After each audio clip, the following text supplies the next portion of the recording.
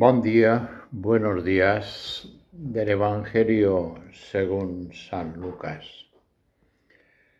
Un sábado entró Jesús en la sinagoga y se puso a enseñar. Había allí un hombre que tenía la mano derecha paralizada. Los escribas y los fariseos estaban al acecho para ver si curaba en sábado y encontrar de qué acusarlo pero él conocía sus pensamientos y dijo al hombre de la mano atrofiada, levántate y ponte en medio. Levantándose se quedó en pie. Jesús les dijo, os voy a hacer una pregunta. ¿Qué está permitido en sábado? ¿Hacer el bien o el mal? ¿Salvar la vida o destruirla? Y echando en torno una mirada a todos, le dijo, extiende tu mano. Él lo hizo y su mano quedó restablecida.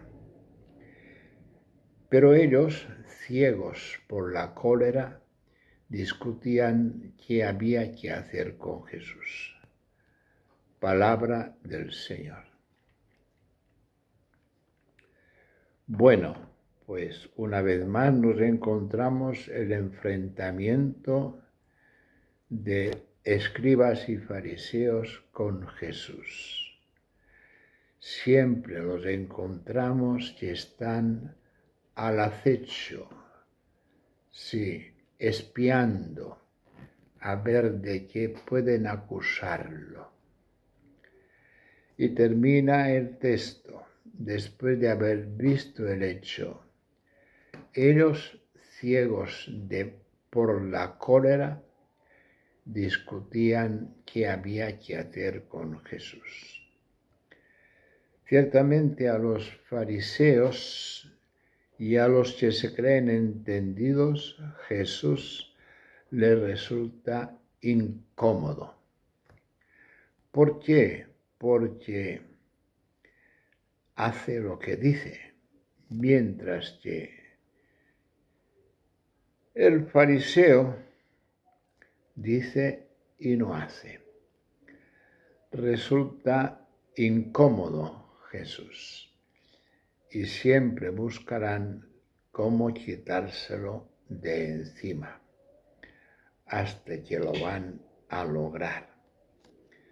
Pero los caminos de Dios son otros.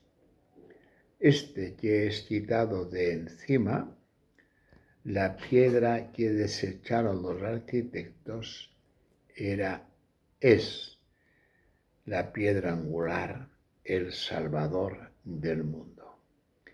Que tengan un buen día, que el Señor nos bendiga.